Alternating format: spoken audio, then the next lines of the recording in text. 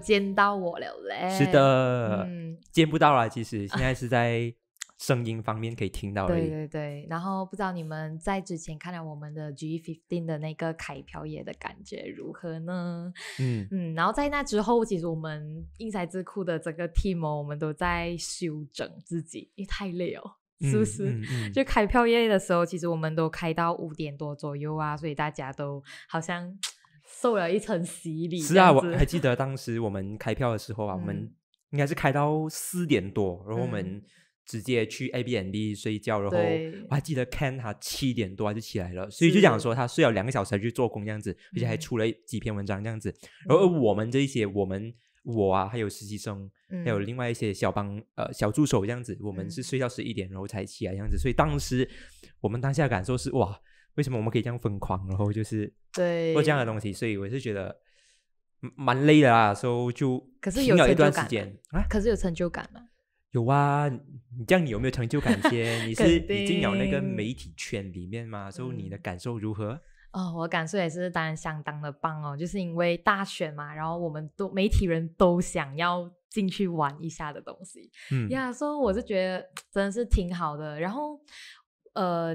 不用讲讲啊，我就觉得说，其实英才智库让我看到有另外一个方面的忧患，你知道是什么吗？你们不觉得我们英才智库的男生跟女生的比例有点不太对呀、对呀、称咩所以我们嗯需要子怡在这一边呢、啊、谢谢，没有没有，所以我们需要有更多的女性的声音在这里哦。然后讲到女性，讲到男性，其实我们回到最基本的就是呃，嗯其实我还是很忧心我们英才智库大家的呃感情生活啊，所以呃，不知道没有必要啦，我觉得 没有必要。没有，所以大家你在想说，你看英才智库的朋友都，呃，英才智库的 member 都那么的呀优秀，OK，、我嗯嗯我们自带一点优秀，这个是你讲的，OK，我讲的，所以我在想说，要不要我们就帮龙哥、帮 Ken、帮戴 娜、这帮我们的实习生们 找女我们在开麦之前没有讲到这个东西哦。OK OK，回到正题，我们今天要聊一个大家都蛮受争议的一个课题，对就是交友软件。不知道大家有没有玩过交友软件哦？反正那时候我跟龙哥提出这个。想法，诶，我们要不要来做一下呃玩交友软件这件事情？为什么我会有这个想法呢？因为在疫情期间，大家都关在家里，然后都不知道做什么，所以我们延伸很多呃主播的那个职业啊，然后线上还有一个很黑的一个 Clubhouse，虽然现在已经是来没落了在马来西亚是没有那么盛行，可是是在外国还是会有的。是是是，所以在想说，其实除了 Clubhouse 啊，以前我在看 Clubhouse 的时候，我大家会呃突发奇想啊，开了一个那种什么呃互相认识的那个嗯嗯嗯。房间，所以在想说，其实，在疫情期间，大家怎样去认识朋友，很多都会透过呃交友软件嘛。那么嗯。因为呃，我跟龙哥其实我们也是在在籍学生这样，所以我们一直在想说，诶，除了在学校，还有什么东西可以开拓呃交友圈？哦，就是交友软件。真的，我还记嗯得当时我在疫情的时候，其实我们不能就是见朋友啊什么这样子。然后我当时我记得当时有一个很盛行的 app，就叫做 Soul 啊，灵对魂，哦就是中国那边的嗯 app 啦这样子。然后就是让你去随机匹配一个人，然后跟他嗯聊天这样子。所以我当时也是有 download 这个东西来玩啊，啊。好玩吗？呃，是好玩，蛮好玩，因为你可以突然间跟你可以跟一个陌跟一个陌生人说话，然后虽然是讲说有那隔阂啊，but 你你还是会放胆的去把你想要做的东西因为不认识，讲讲出来这样子，因为不认识这样子，所以我觉得诶蛮好玩的，所以我就变到说，当然讲真的是没有认识到朋友啦，因为我觉得网上认识朋友有一点危险这样子，啊，所以呀，我就是拿来玩玩，所以我搜这个 app 就对我来说是一个嗯倾诉的地方，倾不讲的倾诉，就是嗯娱乐。嗯我觉得有点不负责任啊，讲娱乐，但对我来说就是一个娱乐工具这样子，所以嗯嗯。可是这个交友软件蛮特别的，因为一般上我们来看，我们呃就是那种探探啊，他们都是嗯以样子去做一个呃你的第一印象，然后去嗯刷过还是怎样。可是是啊搜不一样哦，搜就是要用声音，然后去交友这样子、哦。嗯因为嗯我没有玩过，所以我们要问一下龙哥。对我我还记得那时嗯就是有一段，有因为因为当时是有很多中国人在玩，嗯然后当有一段时期是马来西亚人开始去玩的时候，那嗯些中国人会排斥我们马来西亚人，哦，他就觉得说就你你一 call 的时候，你一听那口音，你就懂，哎，你是哪里的人这样子，他们就会问，哎，你是马来西亚来的哦，他讲。他们就会骂说为什么这样马来西亚人要直接挂电话这样子。当然也有一些中国人是很好心的，友就是会嗯会会就是跟你聊天啊这样子。所以我是觉得对我来说是一个文化交流一个平交流的一个平台啦，这样子。所以嗯呀，这个是我当时的一个经历，这样子。如果你讲有没有交到男女朋友啊，这个是不可能啦。我是觉得，因为 当然你当当时去下载这个 app 的时候，会有那个幻想，就想说，诶，是不是真的可以在这种嗯 app 里面，就是交到朋友或者是是男女朋友这样子？如果真是可以的话，那是太好了，这样子。可是我觉得是很，我觉得不可能啦。所以当然有可能的，有可能一个可能性是因为。呃，对方他是很开放的，然后他是有带着目的来玩的，他是真的是要交朋友。但如果真的是没有这个概念，没有占多数的话，他不可能会成为一个交可以交到真心的交到朋友的一个平台啦。嗯，哦，嗯我可以理解为就是你觉得带有目的性，其实比较容易来成功这样的概念是吗？嗯，可以可以这样真心的去嗯交友。是是，所以是看基于那个人怎样去善用这个交友软件，然后他嗯才、呃看你要去交一个男女朋友啊，还是你要交一个好朋友啊，还是嗯 something 来比友这样子。OK，你这样子讲，我突然想到一件事情，因为之嗯前 Clubhouse 盛行的时候啊哦，其实我有跟过一个中国人做交流，就是在那个 Clubhouse 里面啊，嗯然后我们就聊关于。呃，世界各国的历史，然后他就哇，你的课题很深哦。就很好笑，但是但是我跟我跟我朋友聊过这个课题说，我朋友讲啊为什么你会在一个呃一个这种网络线上，然后去跟人家做一个这样子的交流，嗯对。嗯然后那时候他是有跟我呃提出来一个看法，呃一个观点是让我一直很记在心里啊。他就讲说，不要去从中国的资料去看中国的历史，或者是去看东南亚历史。这个是中国人说的吗？还是对他，他、因为他哦是在国外留学，还是在加拿大还是什么 something，我忘记了。然后他回去啊、然后他疫情，然后回去中国。诶的确中就是 Clubhouse 有呃很多的一些可以讲是政治醒觉的一些中国人在里面。嗯，对对，然后他们就有跟我们讲说，你们可以去一下西方国家，从西方国家去看东南亚文化，再从东南亚文化看西方国家，你就会看到两个历史上不一样写的东西，嗯一个嗯是来。因为英东南亚都是英英殖民殖民地嘛，然后呃，大家都会相对的比较有所谓的奴性还是 something 这样。可是嗯你看胜胜利的者，他们去书写的历史又很不一样，所以是，啊、所以那时候就给我一个蛮 shock 的 culture shock 啊。所以你是在 Clubhouse 里面交到这这样的朋友，做到这样的交流啊？我觉得这个呃有一点颠覆我对 就是网上交友的这个想象啊。我就觉得说，当时 Clubhouse 对我来说，我是觉得呃嗯，它是也是一个交流平台，呃，可能它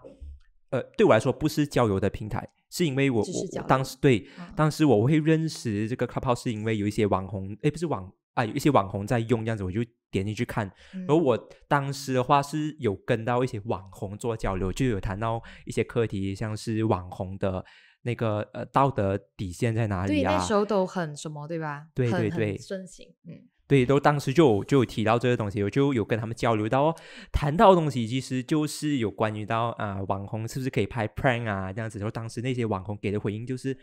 你们就是我们要做这个是我们的自由啊，那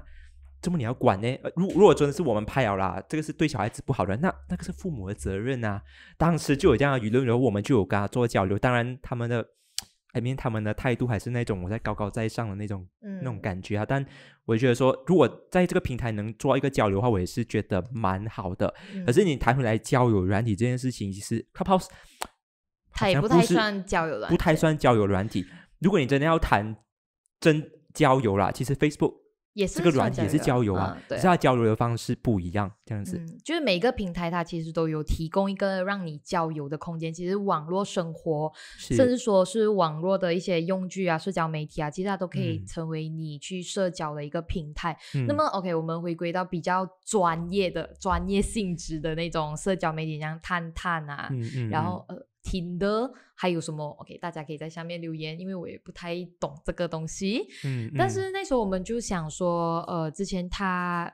大家有些有部分人对社交媒体，诶，对交友软件有一定的呃坏的印象，好像我、嗯我自己本身其实一开始我很抗拒交友软体，因为我觉得说只有 sorry，但是之嗯前小时候不懂事，我就觉得说、OK，缺爱的人他们可能才想要去找。找找另外一半，找在这个交友软体上找另外一半。可是，就是我对他有一个刻板的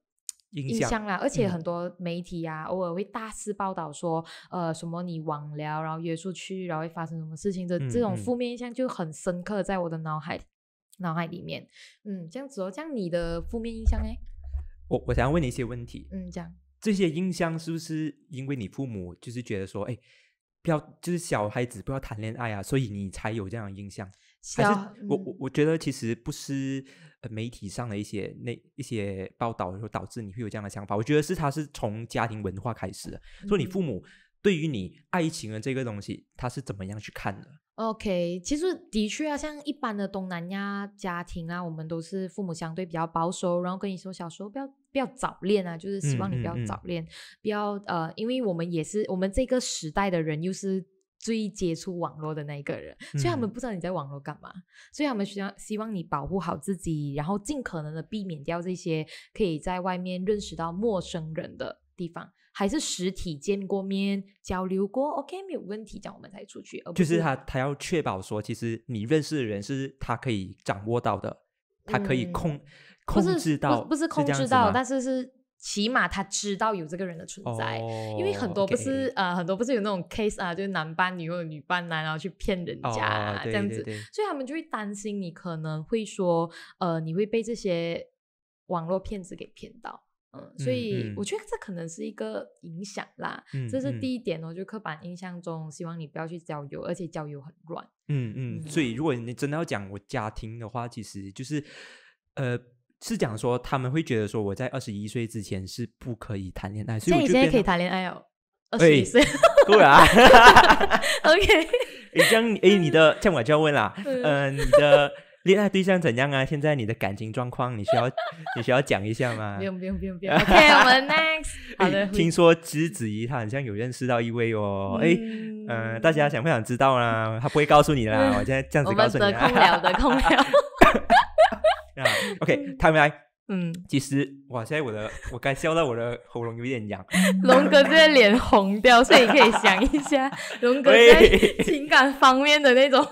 羞涩对感。，OK，没有没有，其实我家里就是、呀，嗯就是二十一岁之前是不可以谈恋爱，我的呃印象是这样子啦。当、嗯所以所以所以在交友这方面的话，呃，网上交友这方面，我当然是偷偷玩啊。嗯肯定就是年少轻狂嘛，你一定有那种欲望，然后也想嗯去玩。当然我也是有玩，然后除了除了玩交友软体之外，OK，玩交友软体的那个方式是你懂我怎样嘛？就是呃，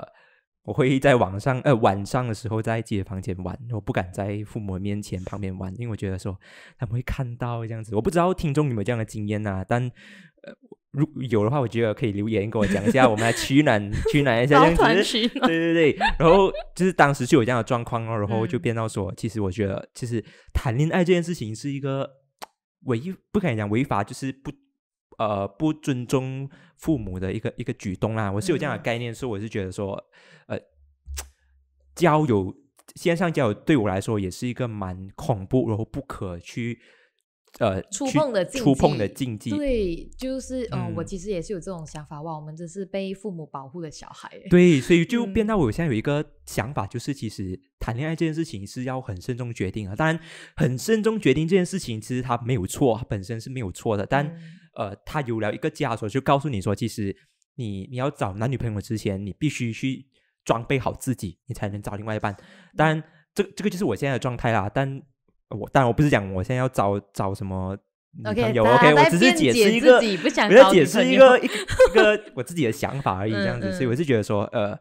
对，就是这种传统的该传统的一些想法框架了我，然后对把我对这个交友软体这件事情有一个很不好的一个印象哦。嗯这样子嗯嗯，所以是大家选择爱情的模式不太一样啦，而且在线上哦，大家都会呃相对的能够放下防备心。其实、不知道嗯你们有没有发现这件事情啊？就是你在面对面社交的时候，你会注意他的言行举止啊，然后你会注意他的呃一切一切啊，然后让你对他可能产生一定的抗拒感。所以在线上的话，肯但是它却消隔了这种陌生感，嗯它会让嗯你说哦，我是一个陌生人，然后你可以把你的烦恼倾诉给我听，因为反正你都不认识我的朋友圈，我们会担心，如果我告诉我的朋友圈，我朋友圈会不会跟另外一个朋友圈说，我们会有这种烦恼。可是如果假设你在社交媒体上你遇到的这一个人，他可能可以分担你所谓的烦恼啊。可能这就是大家所追求的一个感觉吧，我觉得是。嗯嗯这是情感上的一个追求啦。第二个就是交朋友也是一样啊，我希望我可以交呃脱离我的朋友圈。然后去找一个新的朋友圈，甚至找一个新的技能的人。就像我嗯。刚刚讲的这样，其实只要我抱着呃，我想交流，我想要去跟他们交流历史，交流呃呃交流 something 来时政之类的东西，我不想再嗯。跟我的同文村交流，我就会想要上去呃 dating app 或者是上去一些不同的社交媒体去发表我的看法，然后讲一些不一样的话，吸引不同的人。可是哦，你嗯。上交友软体的话，你也是可能会找到同文层的哦，就是因为有一些交友软体是它只是呃，它虽然有些人会在下面放嗯他的 description，、他喜嗯欢什么，然后他喜好是什么样子，但你在选择这个过程当中，其实你可能会把你同文层的人给选进去。对对，但但同但就是兴趣相识的人，你才会跟他有进一步的交流方式啊。OK OK，对啊，如果呃，对，如果假设这个呃人的描述栏里面你不喜欢，这样你也不会想按进去，这就是一个很正常的人类社群状态啊。所嗯以所以就很奇特哦，我觉得你想要脱离朋友圈，可是你有可能会找到另外你现在有在玩呃交友软体吗？OK，我有玩，但是在半年前我下载有一个呃，OK，我自己也不是很懂的名字，这是我朋友介绍给我玩的，因为是你不用、啊不用不用讲那个 app 了。呀呀，就是 其实它就跟一般的探探一样哦，不会像 Soul 啊或者 Clubhouse 这种呃用声音交友软件，它反而是看样子。就是一般啊，啊一般我们大家都会先看样子，然后看你的描述栏里面写着什么。可是呃，我很庆幸我朋友给我的这个呃介绍我这个 apps 哦，并不会。很，大家可能对探探的或者是对其他的那种交友软件有一定的负面印象，因为它很小众，嗯，它小众，然后大家有很少玩，然后里面玩的人，他们都是抱着交友，然后交流技能啊去玩的，甚至是如果有进一步可以发展的情况，我们也会进一步发展情况这样子。嗯所以所以你是因为这个 app 它的 credibility 就是它的可信度很高，所以你才呃下载了这个 app 是是所以可是可是在网上我们有看到探探啊这种就是比较主流的啊主流的一些交友软件的话，为什么你不选择下载那一些？当你看到嗯。肯当然你看到那广告的时候，你肯定知道你有那个需求，是因为你看到你有感觉。可是为什么当下你不会去点这种，而是点你说这小种就是比较小众，然后它嗯。可以 target 到就是呃更同文层以外的人，然后嗯。它可以更有一个更呃细致的一个聊天过程。嗯嗯，呃，我自己是觉得不懂啊。我看过我朋友玩过这种主流的媒体，呃，主流的这个软件，可嗯是我就是没有那种感觉，我就觉得很杂，里面的人太混杂了。我本身就很挑朋友比如说啊，比如说，比如说，比如说，就是就是你会看那个栏的时候，你就会觉得他们像没有诚心的去写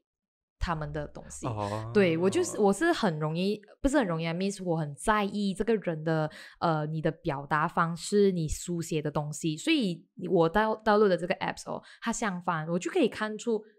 这个人他是多用心的在写他自己的嗯描述啦。嗯嗯嗯就是你想要体现、展现给别人你一个怎么样的样子啊？可是，在主流的媒体上，我不是讲没有，但是少见，所以我觉得不要浪费我的时间去一个个筛选，我好过去找相对小众，可能没有什么人玩，但是我们可以达到一个呃交流的平台。我也是有交流过啊，跟人家在呃在网上交流一些摄影的技巧，也是有啊，他们也会教你啊，就。我就觉得很特别，大家不是抱着哦，我想要跟你怎样呃发生什么关系，或者是想要对你拿你身上什么样的东西，嗯嗯嗯只是一个很纯粹、很纯粹的一个交流嗯的方式哦。所以你讲探探是约炮的 app 啦，呃，这样不能这样子讲，不能等，不能等号哦。但是，但是大家很容易会透过这些嗯呃主流的软件去认识，然后去约炮这样子。可是我觉得这个行为是 up to 你个人啊，就你嗯觉得嗯对也是 OK，你觉得不对也没有问题，你保护好自己就可以了。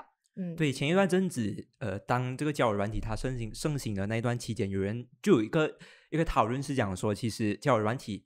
它是一个约炮的工具，还是它嗯是一个真心去交友的工具？嗯交友的工具。当然，这个舆论我没有很细致的去观察还是什么，但我个人想法是，其实它是也是 up to 个人的选择。如嗯果说你是一个呃，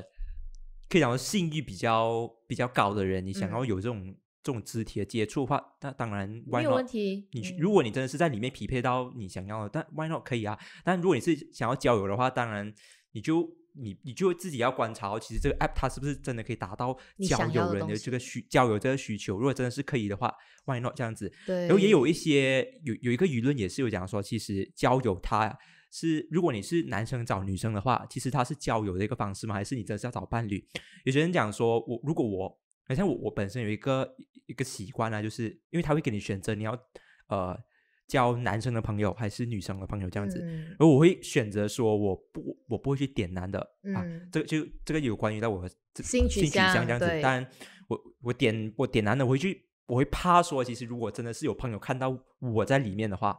哦，然后我整个页面都是男的，然后我就会讲我是 gay。当然我我我 OK，这个课题有点 有有点点敏感，但但我想对。讲的其实就是我我本身的话，我不会去选男生那个栏目，是因为我觉得说呃。这整个 app 它是拿来交男女朋友的，它不是交友，所以这个就是 app 这个交友软体给我的定义这样子。So 嗯 OK，就嗯龙哥诠释这个 app 是让我们异性恋有一个交友的平台，但是我觉得社交媒体一个哎，社交软件。社交软件，sorry，是交友软件。它有一个很好的一个点，就是它会让你选择男还是女，这是蛮 friendly 的一件事情。因为有些可是还没有啊，你啊啊先讲。Sorry 啊，但是有些人就好像有些呃同性恋者或者是跨性别恋爱者他们都有自己可以舒服的空间去去表达他们自己想要交友的欲望，或者是想要谈恋爱的欲望。我觉得这个是网络生活里面相对比较 friendly 的一个东西。当然，它也是有 toxic 的一面呐、看我们嗯怎样去玩而已。因为在现实生活中哦，可能你会。大家对性少数群体还是有一定的排斥感，所以性少数群体可能会因此受到伤害，还是怎样？嗯？嗯所以我在想说，其实交友软件其实对性少数群体或者是对异性恋来讲，其实都相对的比较是一个 friendly 然后安全的空间了。嗯嗯，可是可是你看回现在现代的社会啊，嗯我之前有读到一本书，就有讲说是嗯 social reality 跟 media reality，、嗯社会的一个真实性跟媒体的真实性它是完全不同的。嗯你在媒体上呢，你看到的它不，它不代表说它在社会是反映一模一样的一个状态，在嗯社会上的状态也不可能完全的反映在对呃媒体的整个状态上面，所以所以这个交友软体它是不是可以间接的取代我们实体生活上的一些交朋友的一些过程？我觉得嗯个人我觉得说是不能的，可以但它可以是另外一种小小的管道。但主要嗯交、交朋友谈谈的是交心，然后从肢体上去了解那个人他的想法是什么，然后他的习惯是什么。我觉得这个是才是交友的那个方式，这样子。嗯，对对对，其实我也蛮认同龙哥讲哦，他其实不可以完全替代，但是他是提供了一个你交友的呃一个渠道，这样子。其实就嗯算我跟龙哥我们在线上，我们还是会因为他我们表述的方式、文字描述的方式而产生一些矛盾感。真的，对，其实我们在线下里面我们很 OK 没有问题，可是在线上我们还是相对有一点火药味。其实我觉得可能这个真的就是像他讲的这样子，现实感跟你在网络上它还是有一定的区分开来，看你比较适合呃哪一种的交友方式。我自嗯己。个人选择交友跟呃恋爱，其实我都比较倾向于现实啦。网络对我来讲还是有一定的。比如说你现实的那种方式，你是喜欢哪一种方式呢？你看他要套我讲话，没有啊，就是正常一般大去喝茶啊，然后啊喏，去学校啊，是啊，然后吃沙爹啊，你看他，OK 没有啦，就只是一个很正常的发展发展朋友关系、或者嗯是恋爱关系的一种行为啊，所以大家可以去思考一下。我觉得今天可以让大家留下一个问题是说，你对社希望我们的这一次的谈话可以让你有一个呃对社交呃交友软件有一个不一样的看法，可能不要那么的抗拒哈。或许你在这个交友软件里面，你可以遇到一个蛮有趣的灵魂，也说不定。我觉得是你嗯。要很谨慎的去用它，嗯。而而不是讲说你 OK，有些人他他的状态会是我完全相信交友软体，哦，我觉得嗯这个是蛮危险的，尤其是在这个时代，你我们相信，我们有看到有卖猪仔，或者是有一些女生她们被约出去，然后被强奸或者是性骚扰这样子等等的事情都有在发生，所以我是觉得说，你在用你可以用交友软体，可是你必须去知道说为什么你用它，然后你必须要有一个谨慎的状态。对对对，当这个人他约你出来，他当然有些人他是会很铺垫很长，然后他到最后约你出来，他还是做一些坏事情。可是你就自己要去拿捏那个状况。那如果你真的是很害怕去跟这个呃网友出来的话，那你可以叫你朋友一起这样子。对对，但如果这个人你这位朋友就是这位网友他他不能接受你的这个建议，那你就不要约他出来哦。就最重要是你的个人安全是最重要的，我觉得是。所、以如果你真的是，但我觉得回到来，其实交友这个东西，什什么才叫交友？朋友这件事情你是怎样去定义？我觉得你必须去清楚说哪一种朋友他才是真正的朋友，哪一种朋友是你。呃，想要的，比如说，如果你真的是觉得网上的网友是可以给你一些束缚心理感束缚感，然后心理嗯上的一些呃 support support 这样子，哎，why not go ahead？呀，如果真的是你是比较倾向于在实体生活中去交朋友的，呃，然后你认为说，其实朋友的定义他应该是关心你，然后在很多事情上去给你意见、去支持你的话，那我觉得其实在，呃，就是在实体交友也是一个很，I mean 你可以去考虑的一个对，所以尽可能的，我们这里是呼吁大家是不要去抗拒任何形式上的交友啊。所以，即便是你可能看到你的朋友们玩交友软件，你可能就这样说：“诶，为什么你玩交友软件哦？你是不是缺爱 something？” 这样其实不是，只是每个人选择的交友方式不太一样。嗯嗯嗯 OK，今天就这样子啦。呃，不知道大家有对我们这次的交友软件有什么的看法？或许是你们也想要跟英才智库的 member 做一次的交流，其实我们非常的欢迎呀因为毕竟我还是身兼着让我们英才智库的所有 member 脱单。好伟大哦！没有开个玩笑啦，大家看看大家的哎，其实子怡她还是，如果正式来讲，她还是没有脱单的。所以，嗯如果你们有兴趣的话，啊，有兴趣就有兴趣啊，啊，上你再自己想办法去做追求啊。OK，好，今天的这个还有什么要补充啊？呃，暂时是没有了啦。不过我还是真的很希望我们有一天能够做到，让我们的呃粉丝，让我们的读者跟我嗯们一起交流。这真的是我们好，如果真的嗯是想要做的话，可以在下面留言，然后让我们知道。那如果你在你是收听 Podcast 啊，或者是你是收听 Apple Podcast 的话，你们是留不了言的，你可以去我们的 inbox 那边告诉我们说，其实我们想做一个交流，我们想对，我们想做一个交流啊，这样子，诶啊，让我们知道一下，其实有很多人想参与，那我们就可以参与这样子，诶，我们就可以举办这个东西，这样子。对，就是很兴奋想要做这个对东西。啊，如果你是 Pogo FM 的听众的话，其实你可以在 Pogo FM FM 的留言区那一边告诉我们，呃，你的意见呢、这样子。嗯，哎，我突然发现一件事情，哎，我们太久没有录 podcast 了哦，然后我们忘记要做一个东西。哦，开头对然后好，我们做用这个呃介绍来做结尾。对，Hello，大家好，我是印赛智库的子怡，Hello，大家好，我是龙哥，那我们下一次的节目再见啦，拜拜